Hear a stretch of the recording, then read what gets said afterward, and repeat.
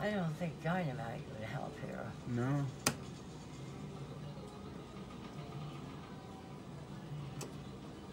You just don't get two of anything. No. You get one of everything.